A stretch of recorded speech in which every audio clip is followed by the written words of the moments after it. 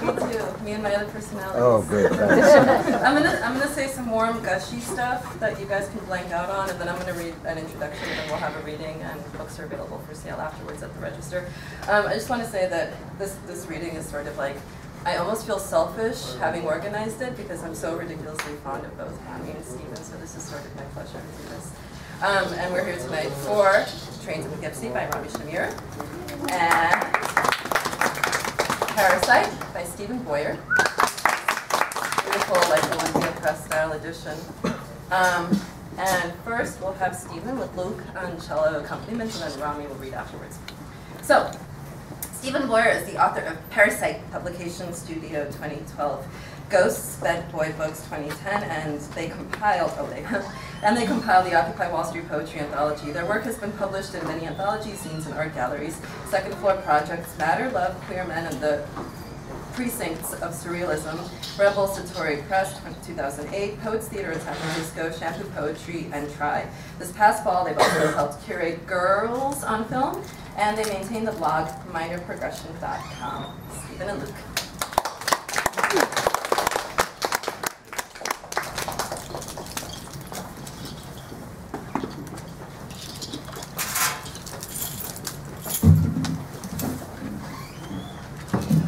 Um, thank you everybody for coming out. Um, once Luke's ready, we're going to get started with a poem for my favorite twink, um, Barret Oliver, of The Never Ending Story. It's called Sex with Falcor.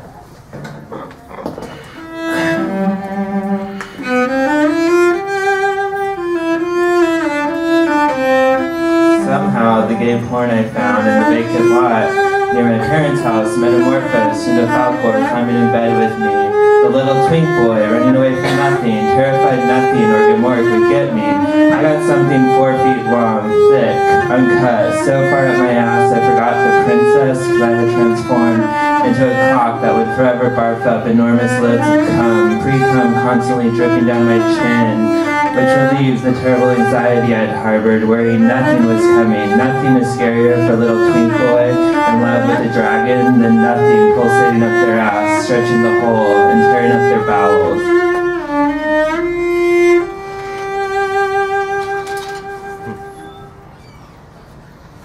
So tonight I'm wearing a bunch of clothes from friends of mine because um, I really like to wear other people's clothes. Like the underwear I'm wearing is um, from a one night stand, and this skirt is like my friend's, and these are the tights I was wearing when I got mugged a few months ago, and then I gave them to my friend who like wore them out, partied a lot to like revive them. You know, I kind of think of clothes as like spirits. Um, so I thought I'd read a little bit about what clothes mean to me from my book. Um, my older sister Sarah is responsible for uplifting my fashion consciousness. Her panties were the crowned object of my thieving young teen desire. I wore her bras as soon as I had the house to myself. I danced in her dresses and jacked off in her negligees. I called Kayla and chatted about school gossip wearing her G-strings. I played with her makeup, ate snacks in her jeans, piled on her black garb, and pretended I was a gothic princess. Sarah was born three years before me.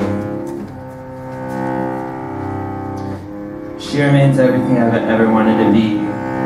Um, we'd lay on the sand usually wore a skimpy bikini, and I was the cute, weird younger brother, along because I had the privilege of being blood. Hot surfer dudes would climb out of the water and walk past us dripping wet. If they were total babes, she'd say, Hey, you look so awesome, or You look like Kelly Slater, or Oh my god, what are you doing tonight?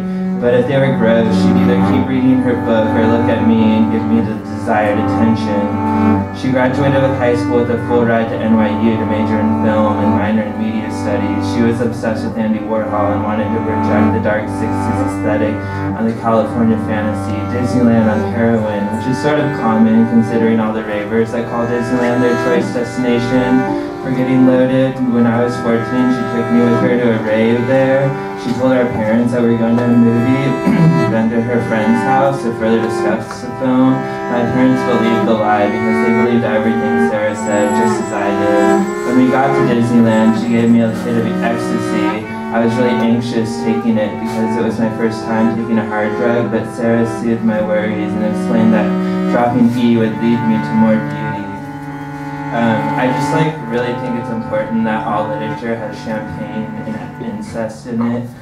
So that's why like I included that. I just sent a copy to my mom the other day, and I'm sort of worried like what she's gonna think about all the clothes wearing of family members. I think like she'll be able to stomach most of the book, but I'm not sure if that part gonna affect her. Um, since RuPaul Drag Race just began again, um, I thought tonight I'd read a longer bit about what I think about drag competition. And again, um, thanks to Margarita, I don't know if I said that already, for having me tonight, and thanks to Luke for playing along and keeping the book interesting for me. Um, this is called You Better Work. Finally freed, I slammed my door and darted to the kitchen for more whiskey, where I leaned against a wall and slowly slid, slid down to the floor as I was pretending to be another despondent movie star. I sipped more enthusiastically the lower I got because I realized I had to get to a club. I painted my nails lime green like a tangerine and then headed to the Tenderloin and hopped from bar to bar looking for someone hot to fuck, but kept succumbing to re-envisioning that dumb fuck client in my drinks. I couldn't shake the feeling that I was becoming some lazy slob that was too desperate to be genuinely cared for. No relaxing vacation, no state of bliss, just the continual need for more whiskey, darling. I retorted to myself as I stared into a mirror on the wall, ever fucking hopeful some dealer would walk through the room. At least your lashes look good. I had money to burn, God damn it. Good hard-earned American dollars ready to be handed over to the drug trade so I could enjoy a little fucking bliss for a goddamn moment. Bored by my thoughts, I picked up a flyer from the bar, an advertisement for a tranny competition night hosted by Heklina at the stud bar.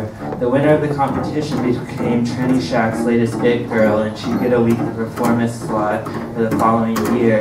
As I looked over the flyer, I wondered, did I sleep with one of the bartenders there? I wasn't sure. I was so fucking high the last time I went to Tranny Shack, it's really all just a goddamn drunken orgasmic blur. I fidgeted with my drink as I tried to decide whether or not I should enter the competition. It was just two days away, and I was worried because I had no idea what I'd do. I texted Charlie to see if he'd be down to help me. As I waited for his response, I tipped a drink and looked around the room at all the different people sashaying their lives away, as if the night had anything of distinctive value. I wondered what I'd tell them, if anything. Did I care that they knew me? If not, what lies were worth expounding upon? And what lies would reveal nothing about me, because everyone should know that lies often reveal more than the truth. The majority of the people in the room made it seem so easy to be there. Like for them, buying a drink was no big deal. Probably paying rent wasn't either, and buying groceries and new clothes and whatever the fuck else they wanted was probably equally easy. I felt like I was completely outside of that reality, and I also didn't even know if it was something that needed to be talked about, just as I didn't know which aspects of my experience would be of value, because I was not interested in portraying myself as some object to be pitied, nor did I want to be a diva. I wanted quite simply to be my best self, but I couldn't shake the whiskey from my hands.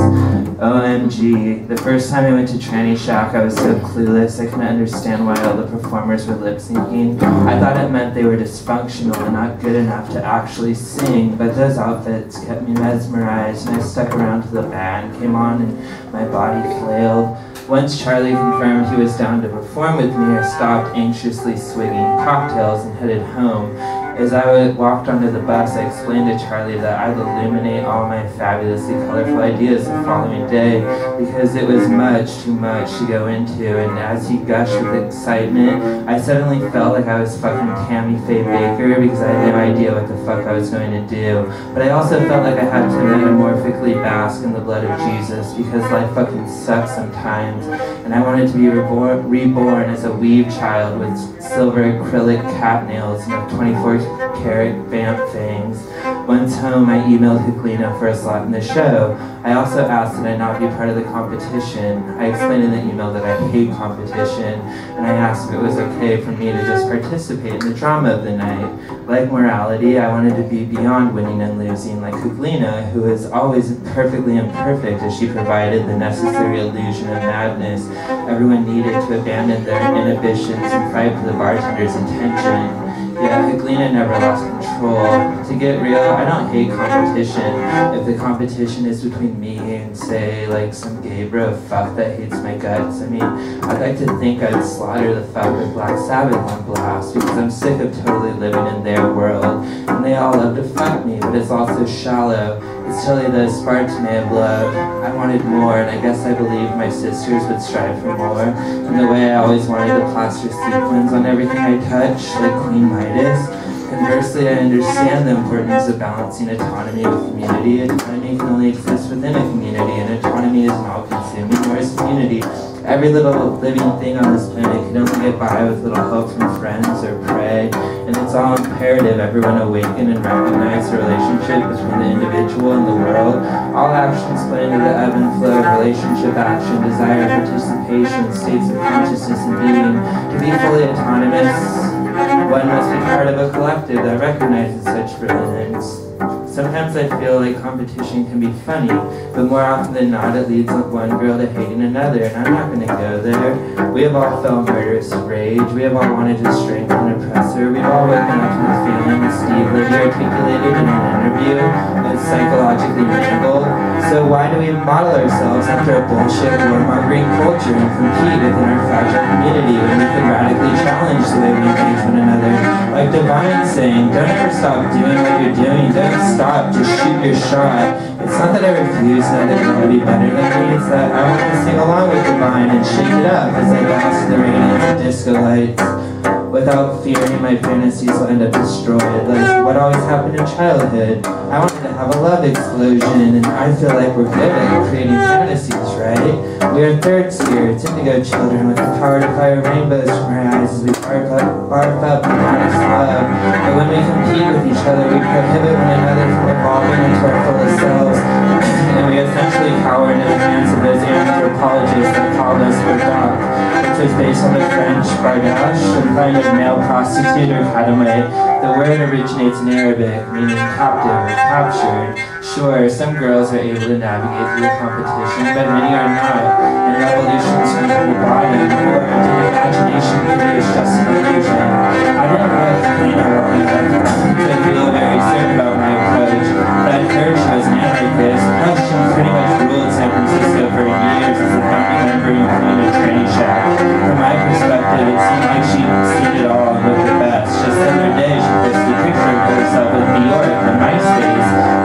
I saw the Sister Sisters there for the first time at Tranny Actually, that was how I found out about them. because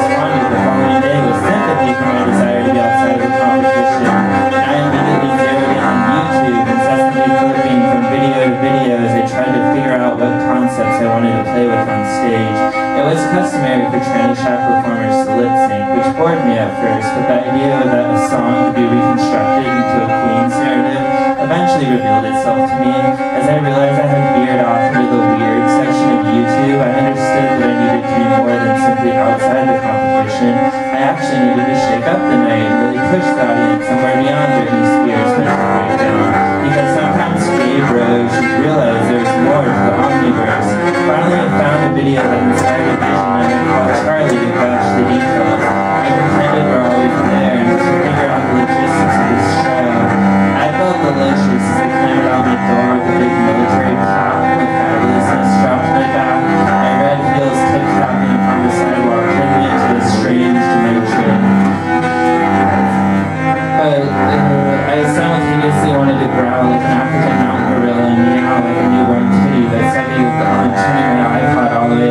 Sweet Jane because like everyone in my life was saved by rock and roll. I couldn't wait a moment longer to meet Charlie at the club. I needed him deep inside me so I could ride his heartbeat as his dick twitched and he moaned ecstatically as he dug his nails in my hips and murmured yes. As I walked into the bus, I was struck by sudden chest pains. I guess I must have smoked a few too many inches cigarettes as I awaited the ride and fixated on my love just a visualization of an object? doesn't matter what it is that makes one person want to give another pleasure? The realization provoked me to worry that Charlie would one day actually see the degree of my insane desire and abandon as I've always known love to do. I imagined our friendship turning into a restraining order and shivered.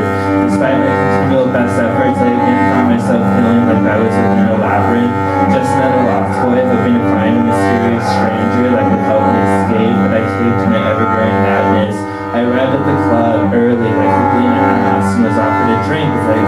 concept for the show.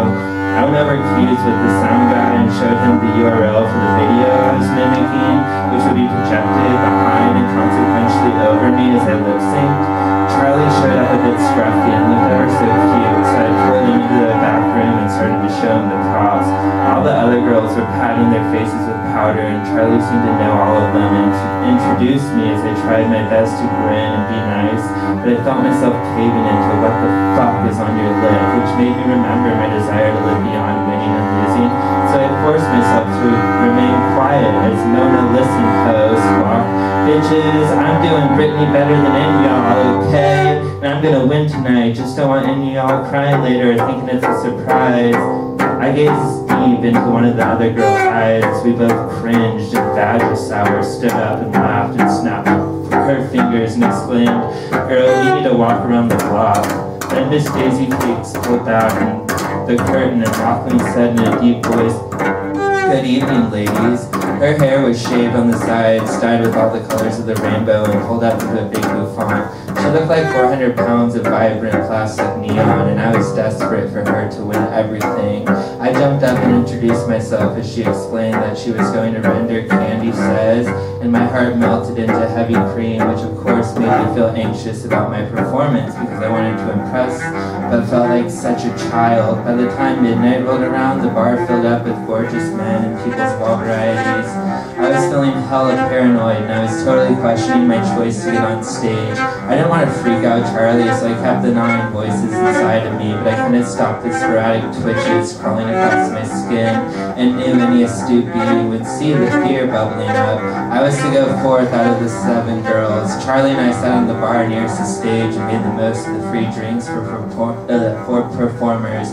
I had my hair down and wore black fishnets with a skimpy little black dress, knee-high Doc Martens, and a jock strap so my dick and ass would bulge in the best way, so I'd hopefully turn Charlie on, though that wasn't my full costume. Part of me wanted to wear my full costume on the way to the club, so I could feel and experience looking at the world through a veil, but I also felt it was a bit inappropriate and disrespectful, and I had no intention of putting down wares. I wanted to illuminate a narrative I found interesting. Blue, Burqa Blue, oh blue, blue, Burqa Blue. Come forth, blue, Burqa Blue. I love you, blue. Many Westerners see the veil as anti-Western and anti-modern. I see it as a visible mark of separation from the West, and that is why I feel a kinship with wearers and look to them as very sober sisters. Yes, I may be of the West, but I am not only that which has created me. When France made burqas illegal, the country in effect criminalized women in order to free them, which is asinine in my opinion. Nobody should enforce anything on anyone, and everyone should choose to respect another person's choice.